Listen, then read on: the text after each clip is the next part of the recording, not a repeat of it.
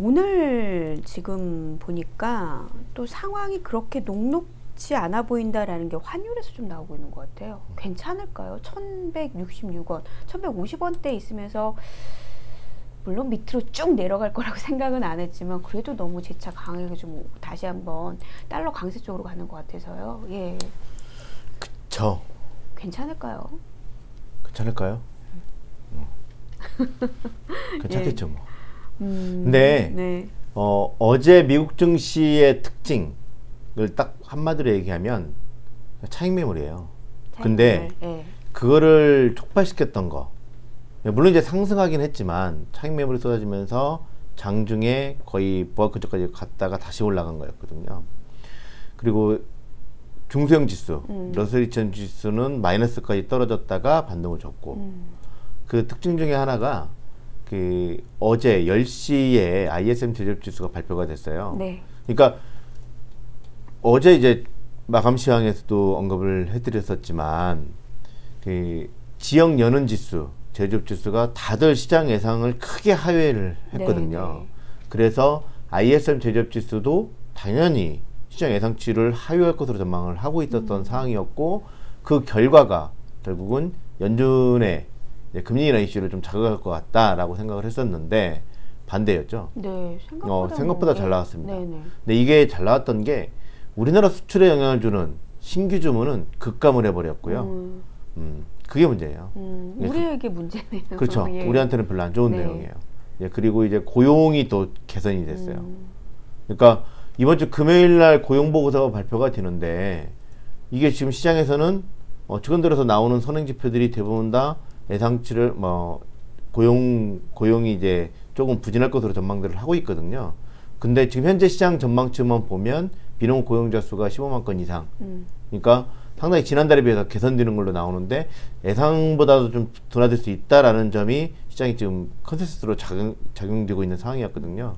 근데 이렇게 고용 지수가 좀 좋아지고 이래버리면 그렇죠. 고용 보고서가 좀 잘 나와버리면 연준의 금리 인하 이슈가 많이 약화되겠죠. 네, 네. 그 다음 주, 다음 주입니다. 다음 주 10일 날, 11일 날, 그 다음에 10일 날은 상원, 11일 날은 하원에서 파월 연준의장의 통화정책과 관련된 이제 청문회가 있어요. 네. 여기에서 연준 위원들이 언급을 하겠죠. 너 금리 인하 할래 말래 뭐 이런 것들. 이제 현재 경제가 어떠니 뭐 이런 것들이 나올, 나올 텐데 파월 연준 의장의 발언들이 지난 3월 달, 5월 달 시간이 지나면서 지난 6월 25일 날까지 해서 시간이 지나면서 상당히 좀 매파적이었다 덜 비둘기적으로 바뀌었다가 이 비둘기적인 게 좀 더 비둘기적으로 네. 바뀌는 네. 예, 그런 점차 이제 금리 인하 이슈로 그 접근해 나가는 그런 뉘앙스를 계속적으로 보여왔었는데 만약에 고용보도 잘 나와버리면 파월 연유로장의 발언 자체가 상당히 덜 비둘기적으로 바뀌면서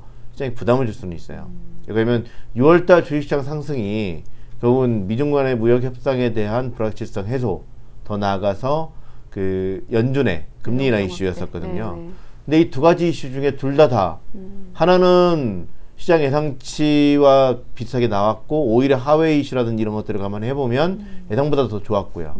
그다음에 우리나라 주식시장에 장 초반에는 영향을 안 줬지만 반등을 줬던 요인 중에 하나가 트럼프 대통령이 아 지금 전화 통화로 계속 협상하고 있어 뭐 이런 식의 음, 이게 좀 발빠르게 대응을 하고 있다는 점이 부각이 되면서 미중 간의 무역 분쟁과 관련된 불확실성이 일부 좀 약화된 거. 음.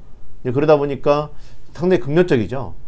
어제 뜬금없이 아베가 이상한 행동을 하면서 네. 망가뜨렸지만 네, 네. 일단 그걸 빼놓, 빼놓는다면 대체적으로 시장 자체 글로벌 주식시장 전체적으로는 상당히 좋은 내용들이었어요. 음, 근데 그러고 있는 상황에서 연준의 금리 인하 이슈가 약화돼 버리면 금리 인하를 하게 되면 신흥국 증시가 좋아요. 네. 음, 왜 그러냐면 지금 현재 유동성이 상당히 풍부한 상황에서 여기 연준마저도 금, 그, 온건한 통화 정책으로 바뀌어버리면 대체적으로 유동성이 좀 더 확대될 수가 있다는 점 때문에 보통 그러면 신흥국 증시가 좋거든요. 네.